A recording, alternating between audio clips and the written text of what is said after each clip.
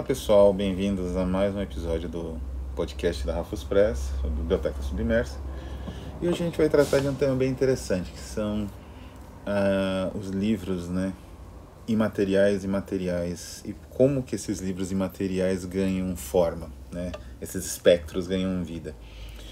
Eu me lembro que muitos anos atrás eu assisti uma retrospectiva grande do diretor de cinema russo Sergei Eisenstein. Vi vários filmes né, dele, menos conhecidos, Tempestade no México, uh, enfim, vi os conhecidos também. Foi na saudosa Cinemateca, que agora praticamente não existe mais, que foi destruída pelo desgoverno né, atual. Pois bem, um dos filmes que eu assisti não era bem um filme, era uma sucessão de fotogramas com a trilha sonora original, que se não me engano era da autoria de Prokofiev. Né? E esse filme se chama, na verdade em português o título dele é, em português o título dele é Traição na Campina. E ele foi escrito por Isaac Babel. E ele, na verdade, seria um filme até de propaganda, porque ele seria focado no Pavlik, uma coisa assim, que era um pioneiro, né, uma espécie de escoteiro russo, que foi morto uh, e virou uma espécie de mártir, né? Uh, enfim, era um filme de propaganda baseado numa narrativa bem mais complexa do ponto de, assim do ponto de vista de partida, do ponto de partida, né? Do Turgenev, que é um dos melhores escritores soviéticos, eh, russos, né, do século XIX, que dessa safra de autores titânicos, né, que a Rússia teve. Mas esse filme o Prado da Traição, que é o é, de Bezin Medal, em é Bezin Lug, né, em russo. Seria o Prado de Bezin, a tradução, digamos, mais literal. Ele foi censurado. E censurado só sobraram alguns fotogramas. Mas pelos fotogramas, pela trilha sonora, é nítido que você veria se aquele filme fosse um filme e não uma sucessão de fotogramas isolados que foram resgatados de fontes e tudo mais, se ele não tivesse sido destruído pelos stalinistas, você veria um filme de um apuro formal extraordinário, talvez o mais esteticamente sofisticado de todos os filmes do Eisenstein, né? E é engraçado porque esse filme ele por assim dizer, ele é, na, na, na, cabeça do espectador você consegue montar um pouco a narrativa, né? Só com os fotogramas tão sugestivos que eles são, e também você consegue imaginar que e se alguma cópia se preservou, e se o, o Eisenstein tivesse a estratégia dos irmãos Strugatsky, quando eles escreveram The Doomed City, e deram uma cópia para alguém que não era investigado pela, pela KGB, como, ou no caso o GPU, como alguém que era amigo direto ou próximo do diretor. Né? Talvez o GPU fosse mais competente e evitasse isso. Mas enfim, se ele conseguiu passar para um estranho, para uma pessoa estranha que enterrou, né? Existe essa possibilidade. Aí o filme reapareceria. Mas enquanto ele não reaparecer, esse resto né? E esse resto é suficiente para disparar a nossa imaginação. E é isso que é o livro imaterial. O livro imaterial ele tem evidências, existem pistas que ele talvez exista, não é? E essas pistas que são ao mesmo tempo pouquíssimas e elas não são evidências e pistas conclusivas do tipo, não, esse livro realmente existiu, porque existe o livro que existiu e não existe mais, não é? Sei lá, o os diários do Byron, eles existiram, foram queimados, né? Teve testemunhas tal. Os, uh, a, primeira, a primeira versão, o, do, o primeiro romance do, do Hemingway, ele perdeu, né? O material escrito pelo Walter Benjamin, provavelmente associado à pesquisa dele das passagens, existia, estava dentro de uma mala, foi perdido. Então, esses materiais todos, né? Eles existiram e não existem mais, por algum motivo. Mas o livro imaginário, esse livro potencial, a gente pode dizer assim, existem evidências, mas essas evidências elas não são conclusivas como uma presença material, como uma evidência de alguém que viu o material, né? digamos assim, com os próprios olhos e testemunham sobre isso. Eles não têm essa, esse traço, né? Eles são potenciais, não é? Então eles podem ter existido, até eles são mais radicais até do que o Prado de Bezin, que eu citei mais pela questão da sugestão. Porque o livro potencial ele tem um, um poder de sugestão exponencial. Ele influencia gerações e ele, ele se torna uma espécie de fundo do inconsciente por um certo tempo, não é? é mesmo que seja um, um, inconsciente limitado, sei lá, de colecionadores de livros, de pessoas que são admiradoras de determinado autor, né? Eu vou citar aqui dois exemplos desse, desse tipo de produção, que é, em primeiro lugar, o livro A Arte de Não Crer em Nada e Livro dos Três Impostores. Né? Essa publicação, originalmente intitulada, acho que saiu na França originalmente, L'Art de ne, croire en rien, Livre de Trois Imposteurs. Ele, a edição brasileira, portuguesa no caso, foi publicada pela Edições Europa América, Lisboa, né? E foi no ano de 2004. É recente o livro até. Se bem que não vejo para publicação, né? não é muito comum. Ele é um livro de bolso, com uma, digamos assim, diagramaçãozinha difícil, sem vergonha, né? vamos dizer assim. Ele também tem um papel bem ruinzinho, inclusive a minha edição né? O livro é de 2004, ele não tem nem 20 anos ainda. Mas a minha edição já tem um, um grau avançado de oxidação das páginas. Em breve vou ter que digitalizar algum procedimento assim, ou talvez procurar a versão em francês ou em espanhol, porque vai se tornar quebradiça com certeza, pelo nível de, de, de oxidação, né? E é um trabalho espetacular. Assim, é uma coletânea de textos. O primeiro texto tem uma autoria, são dois textos completamente falsos, né, vamos dizer assim. Eles se colocam numa época que eles não foram escritos, né, de uma época que eles não foram escritos.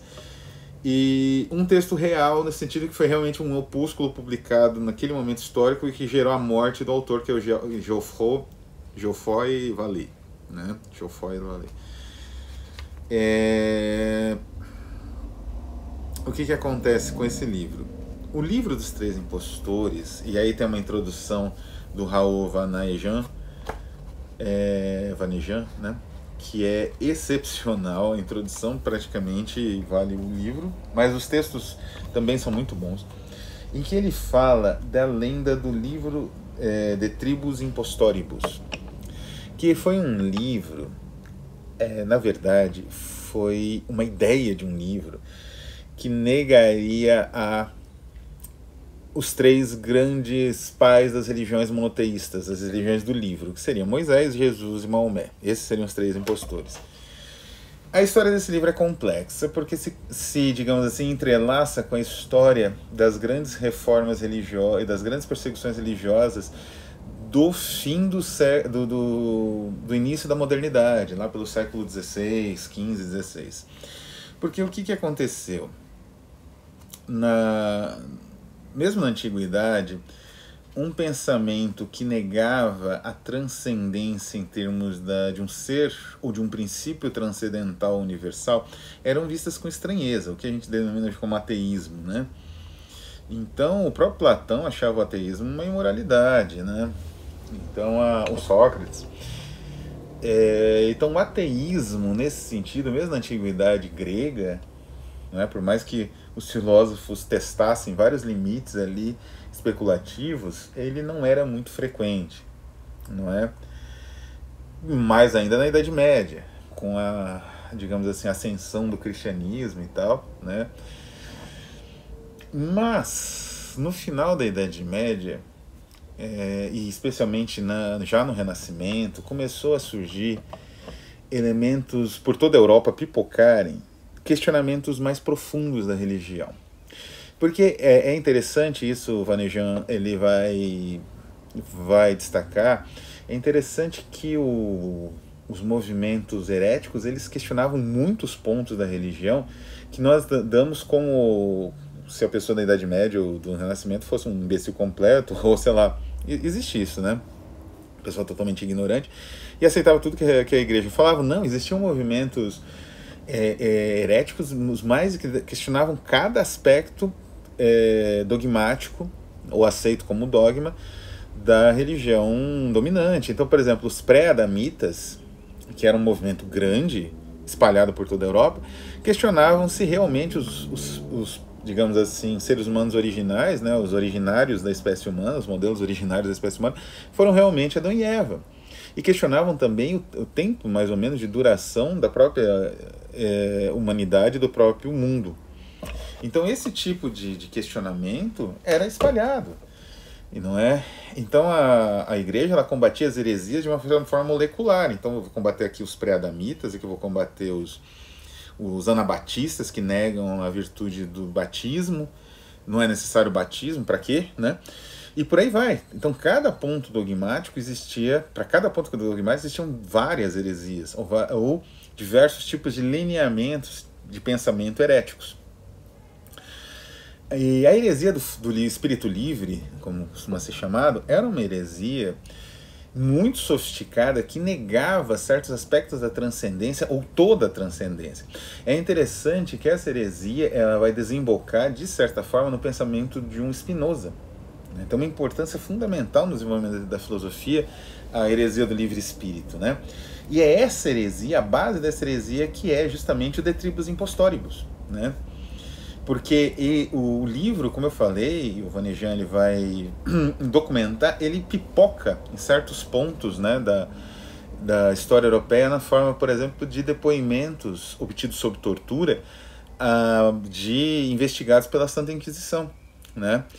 E nesses depoimentos são vários pontos né, que vão se repetindo, mas por outro lado, poderia ser evidência de um livro, mas por outro lado, eram esses pontos mesmo que eram questionados no desenvolvimento da religião. Né? E quando se consubstanciava numa obra como do Valet, o, o a, a, fúria religiosa, a fúria do braço secular da, da, da, da fé, né? que seria o Estado que executava, era terrível. Né? O Valet foi executado queimado vivo. E o inquisidor fez questão de dizer que ele estava vivo quando ele foi queimado. Quer dizer, provavelmente ele teve algum tipo de garrote, né? que era o estrangulamento antes, que era muito comum. Isso aconteceu, por exemplo, com o dramaturgo Antônio José da Silva, ele foi garroteado e depois queimado. Mas provavelmente o garrote não funcionou direito, ele ainda estava vivo quando foi queimado. E o, o inquisidor se regozijou com isso. Então, o, o livro dos Três Impostores, ele é exatamente o, esse livro potencial, esse objeto que ocupa lugares, né? No levantamento Vanejan existe até mesmo Christopher Marlowe envolvido, né? Um dos, se não me engano, até um dos dramaturgos elisabetantes que foi torturado na época. Ele revelou, porque o Marlowe era um espião, de fato, de Roma, né? um espião católico. Ele revelou que o Marlowe tinha um, uma espécie de um documento e o Marlowe falava publicamente contra a religião, é, digamos assim, elementos desse documento, negando a, a graça, negando a, a natureza divina do, de Jesus, e falando que Jesus era filho de, de, né, de uma, prostituta, rameira, né? Então é, é, eram questionamentos, né? E é interessante, né? Antes de concluir aqui e passar para o próximo, como esse pensamento, como a própria religião gera, né? É, é, o, o livre espírito, a heresia do livre espírito, né? O, é conhecido que no caminho das fogueiras, alguns judeus novos portugueses, enfim, cristãos novos, né, portugueses, que judaizavam em segredo, coisa assim, eles negavam toda a religião, não só a religião católica estava torturando eles, né, como a própria religião que eles, digamos assim, cultuavam em segredo, por uma questão de que parecia que nada mais valia a pena e que todo o sentido daquilo era inexistente. Então, a, digamos assim, a fúria inquisitorial gerou, de certa forma, a, os sementes do ateísmo, como a gente entende hoje, não é? Como aconteceu também com Kierkegaard, que era uma pessoa muito religiosa.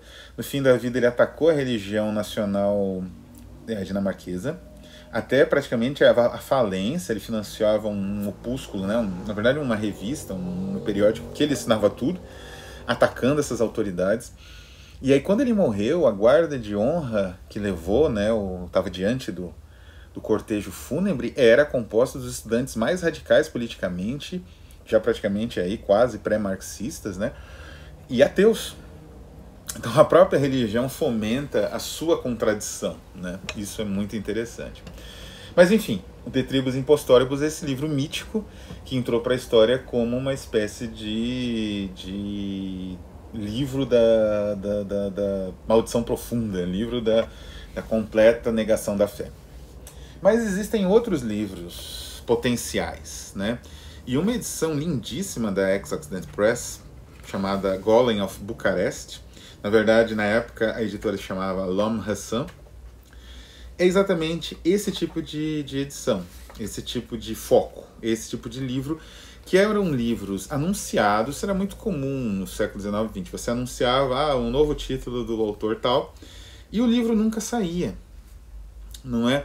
Então, assim, às vezes tinha uma sinopse longa do livro, uma descrição, até mesmo número de páginas e tal, já para você. Era muito comum serviços de assinatura de editoras e também serviços de compra antecipada de títulos para você poder garantir, porque às vezes tinha uma edição em papel velino, né? edição, o mesmo livro, mas com papel diferente em edição limitada.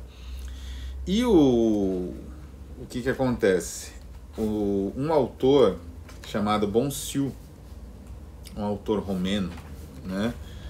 De vanguarda, ele, esse, como é que é o nome dele?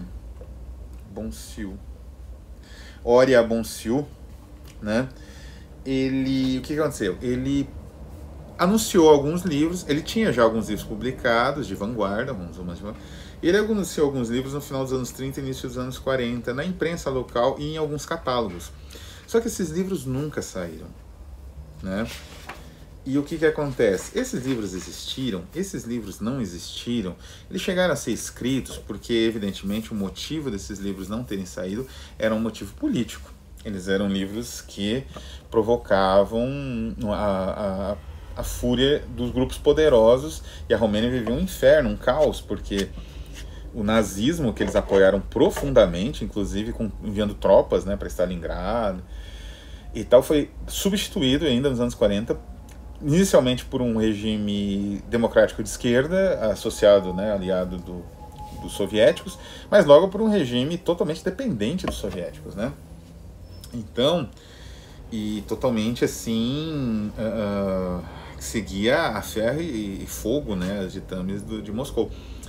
Então, muitas experiências estéticas muito radicais foram tolhidas ou pelo fascismo, ou pelo comunismo posterior, ou por ambos. Né? Então você, muitos livros aí era perigoso ficar com eles, então os autores queimavam, se livravam deles e tal. Então você não sabe se foi esse o destino desses livros, se eles chegaram a ser escritos, né? E o que, que o, o Andrew Condos ele chama esse tipo de material que fica nessa zona cinzenta da existência da não existência de criptádia?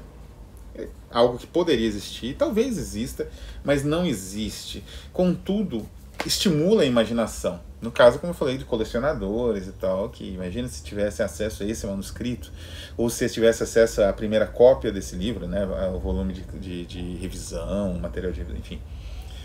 E é o livro é sobre isso, e é um belíssimo livro, né? Ele tem um formato quadrado perfeito, pequeno assim. Então ele não é de bolso, ele não cabe no bolso que é um quadrado. Mas ele é lindo, né? E, e simples, né? Um minimalismo que até não é muito usual na Ex-Occident Press. E cada capítulo é um desses livros anunciados nunca lançados, né? Que o, o Andrew Condos vai, a partir da, da, digamos, como eu falei, dos elementos de marketing ali, das, propagandas, dos anúncios, do, da divulgação em catálogos, em revistas, ele vai montando um, uma reconstrução mental, né, uma espécie de arqueologia imaginária desses materiais, se eles existissem, como eles seriam, como seria a narrativa que eles apresentam. Né? Então ele constrói uma narrativa inspirada nesse material. É uma experiência espetacular ler esse tipo de material. A, a prosa do, do Condos é extremamente bem urdida, embora muito complexa e muito é, é, elusiva, mas e muito bonito porque é como se ele mimetizasse o estilo desse autor, que acho que não é traduzido em inglês.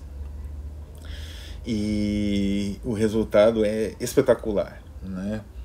E exemplifica novamente o livro potencial. Ele poderia existir, não existe evidências que ele é, chegou a ser concretizado. Às vezes o autor largou a ideia, nem começou a escrever o manuscrito, tinha anunciado para conseguir o dinheiro das vendas iniciais, da pré-venda, né? Mas não tinha elaborado nada ainda. Ou pode ser que não, que o livro exista, está dentro de uma casa de um parente, está dentro de um esconderijo, e daqui anos, talvez até séculos, seja encontrado esse manuscrito e recuperado com as tecnologias, né, porque está podre o papel, mas é recuperado com as tecnologias do momento para o nosso mundo. E se for no caso do Tribus Impostoribus, para a destruição da transcendência no nosso mundo. Então é isso, pessoal. Esse foi o episódio sobre os livros potenciais. Eu pretendo voltar mais vezes a esse tema, que eu acho fascinante, e é um dos temas centrais da minha ficção e também de várias das minhas pesquisas. Então é isso, um abraço a todos e até a próxima.